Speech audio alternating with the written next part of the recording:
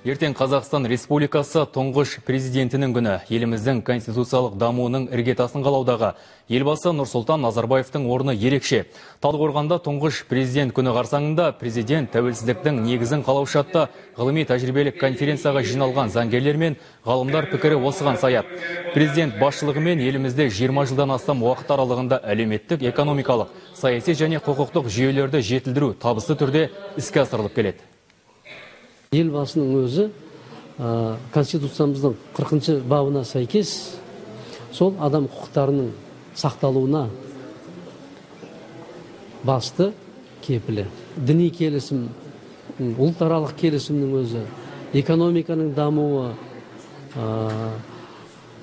мемлекеттік емес органдардың мына бұқаралық ақпарат құралдарының бостандығы бұның барлығы осы конституцияның негізінде болып жатқан жағдай.